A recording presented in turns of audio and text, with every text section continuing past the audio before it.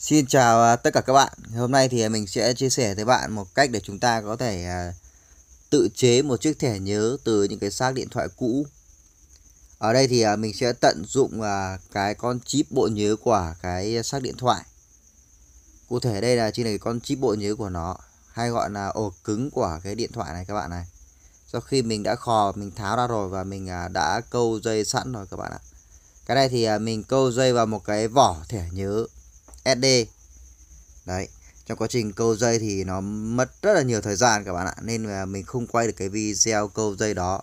Nhưng mà mình à, sẽ hướng dẫn các bạn à, cách để à, chúng ta có thể tự chế được cái thẻ nhớ này, có thể làm được tại nhà nha các bạn.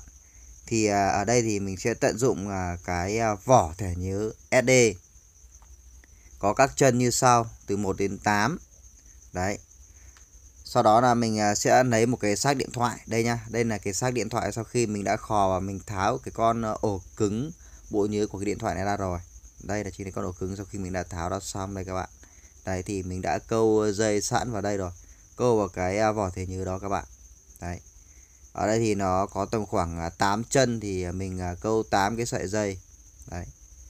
Mình câu vào cái vỏ thẻ nhớ như thế này sau khi à, câu xong thì à, mình à, sẽ nắp cái vỏ đó lại và mình sẽ cắm cái thẻ nhớ tự chế này vào cái đầu đọc USB và cắm vào máy tính hoặc cắm vào điện thoại đều có thể nhận được bộ nhớ nha các bạn. Đấy. đây là cái vỏ của nó này. Đấy, mình đã câu dây sẵn này. Đây là cái vỏ của nó nha các bạn. Cái vỏ thẻ nhớ SD này thì các bạn mua ở ngoài thị trường rất là rẻ luôn. Các bạn có tầm khoảng từ 10.000 cho tới 15.000 một cái vỏ thôi đấy. Thì à, các bạn sẽ bổ cái vỏ đó ra và lấy à, 8 chân của cái đầu nhỏ nhất ấy. Sau đó là các bạn sẽ câu dây vào cái ổ cứng à, của cái à, bộ nhớ điện thoại à, bị hỏng các bạn sau khi các bạn đã khò ra ấy. đấy. Sau khi đã câu dây xong thì à, nắp cái vỏ vào như thế này. Đấy. Là chúng ta có thể à, cắm cái vỏ thẻ nhớ này vào à, cái đầu đọc USB rồi. Là nó đã biến thành một cái loại thẻ nhớ di động đấy cái này thì mình à, sẽ để cái à, vỏ này nó như thế này và mình sẽ nắp như thế này và mình sẽ để cái con à, ổ cứng bụi như nó ở bên ngoài để cho các bạn thấy và lát nữa mình sẽ test thử cho các bạn xem nhá. Đấy chứ mình nhét vào bên trong thì các bạn sẽ không nhìn thấy và không hình dung được à, nó như thế nào. Sau đây thì mình sẽ hướng dẫn các bạn cách làm và mình sẽ chia sẻ sơ đồ đầu nối của nó nhá thì ở trên màn hình các bạn có thể à, quan sát thấy ở phía bên tay phải đó chính là sơ đồ của một cái ổ cứng điện thoại. Đây nó có các ký hiệu à, như thế.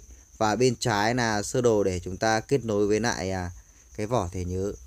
Tức là cái vỏ thẻ nhớ để chuyên môn chúng ta nắp được những cái thẻ nhớ nhỏ, nhưng mà chúng ta sẽ không nắp cái thẻ nhớ nhỏ nữa, mà chúng ta sẽ lấy cái ổ cứng điện thoại chúng ta chế sang. Đấy. Ở phía bên tay trái thì nó sẽ có 8 chân tương ứng.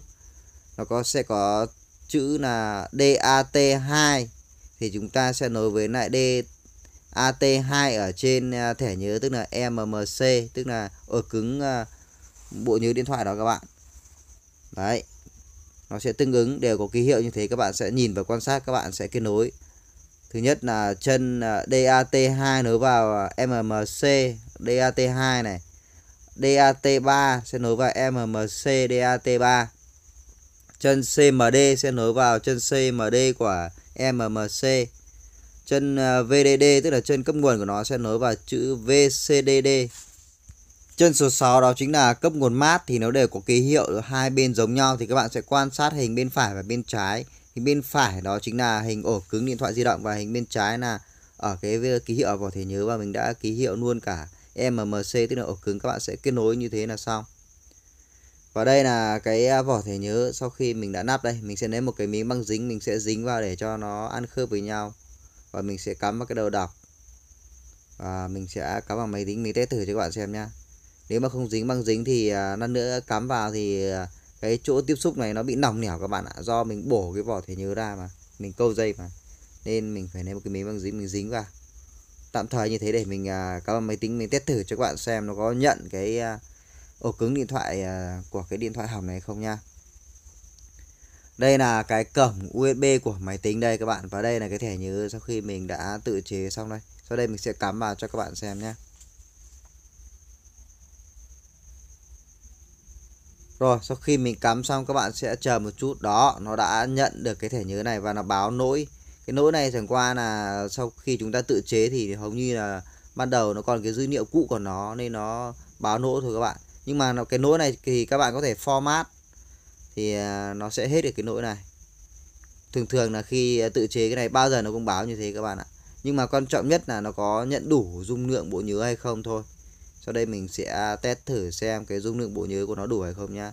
Cái thẻ nhớ này của mình tự chế là cái thẻ nhớ 32GB từ cái ổ cứng điện thoại di động 32GB mình sẽ test thử cho các bạn xem.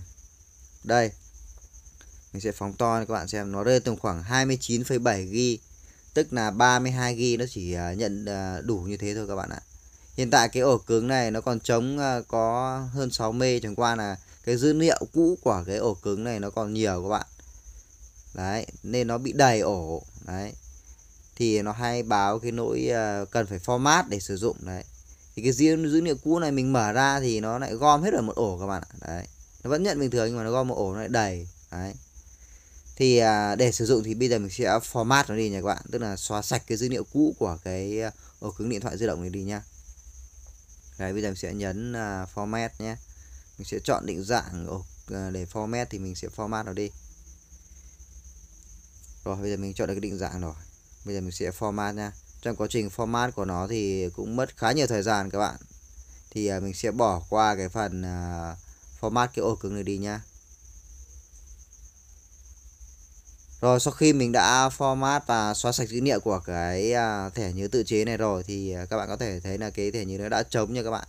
Rơi tầm khoảng 29,7GB thông thường là cái thẻ 32GB thì nó chỉ nhận đủ như thế thôi. Đấy, sau khi mình đã format xong thì nó đã có đủ dung lượng để chúng ta sử dụng rồi. Đấy. Đấy các bạn thấy không? Bây giờ chúng ta có thể copy dữ liệu hoặc là nắp hẳn vào cái máy ảnh chúng ta sử dụng cũng được các bạn nhé. Đấy, nó giống như là một cái thẻ nhớ thông thường thôi. Có điều là tự chế cái này thì thường thường là tự nhiên nắp thẻ to thôi các bạn. Mình sẽ rút thử ra cho bạn xem nha sau khi mình đã rút từ cái USB này ra khỏi cái cổng USB thì nó đã mất này. Đấy, bây giờ mình sẽ cắm lại thì các bạn thấy nó có nhận hay không nha các bạn chờ một chút nó hơi nỏng một chút do cái cổng USB này nó nỏng các bạn. Mình sẽ chỉnh lại một chút này. Đấy sau khi à, mình đã chỉnh lại một chút cho nó đỡ cái nỏng đi thì nó đã nhận được uh, cái thẻ nhớ này bình thường nha các bạn. Không có một cái vấn đề gì cả. Đấy vẫn nhận đủ bộ nhớ và vẫn có thể copy dữ liệu uh, ra vào được các bạn nhé đấy sau khi mình mở vào trong đấy thì uh, quá trình mình vừa format xong thì bên trong nó không có một cái gì cả. Đó. Với cái thẻ nhớ tự chế này thì chúng ta có thể tận dụng những cái xác điện thoại cũ có bộ nhớ tầm khoảng từ 16 tới 32 nếu mà các bạn kiếm được cái sách điện thoại mà có bộ nhớ tầm khoảng 64GB mà các bạn tháo được cái ổ cứng này các bạn tự chế một cái thẻ nhớ như thế này thì sử dụng rất là ok các bạn, rất là tốt luôn các bạn. Đấy. Trong khi đó là cái giá thành chúng ta tự chế ra nó rất là rẻ luôn các bạn. Rơi tầm khoảng 15.000 cái vỏ thẻ nhớ này và cái sách điện thoại các bạn kiếm được nữa. Hoặc là sử dụng cái sách điện thoại cũ hỏng ở nhà. Các bạn tháo ra các bạn câu chân theo sơ đồ như thế này và các bạn sẽ tự chế được cái à, thẻ nhớ di động này rất là hữu ích để à, copy dữ liệu cũng được. Hoặc là các bạn có thể à, nắp vào cái máy ảnh các bạn sử dụng cũng được. Lát nữa thì mình sẽ nhét cái ổ cứng điện thoại à, di động bị hỏng này vào trong cái vỏ nhé các bạn. Để cho nó gọn gàng. Chẳng qua mình đang quay video cho các bạn thì mình để ở bên ngoài cho các bạn nhìn thấy nó như thế nào thôi. Lát nữa thì mình sẽ nhét gọn dây rợ của nó vào bên trong và cả cái con chip bộ nhớ này vào bên trong luôn. Để cho nó gọn gàng, biến thành một cái thẻ nhớ luôn các bạn ạ giống như một cái thẻ nhớ thông thường luôn. Và sử dụng à, được thông thường luôn các bạn. Đấy. Mình hy vọng với một cái video ngày hôm nay thì à, mình à, chia sẻ tới bạn, lan tỏa tới bạn có thể yêu thích cái bộ môn tự chế này. Và các bạn có thể tìm những cái xác điện thoại cũ của các bạn. Và có con chip bộ nhớ tầm khoảng 16 tới 32 GB hoặc 64 GB mà trong khi đó các bạn muốn tận dụng để tái chế nó thành một chiếc thẻ nhớ, tức là biến nó một chiếc thẻ nhớ SD để sử dụng uh, trong công việc cũng như là trong cuộc sống của các bạn. Đấy nó rất là hữu ích luôn các bạn ạ. Thì uh, video của mình đến đây là kết thúc. Mình hy vọng nó sẽ hữu ích cho các bạn.